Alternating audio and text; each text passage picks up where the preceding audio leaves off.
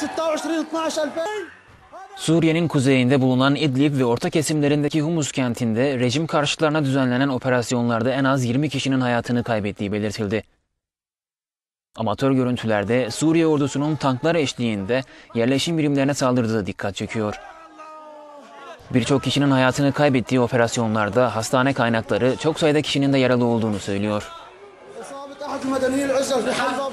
Suriye ordusunun düzenlediği kanlı baskınlar Arap gözlemcilerin Suriye'ye gelişinin hemen öncesine denk geliyor. Ülkede ayaklanmaların başladığı Mart ayından bu yana 5000'den fazla kişinin öldüğü, on binlerce kişinin de tutuklandığı tahmin ediliyor.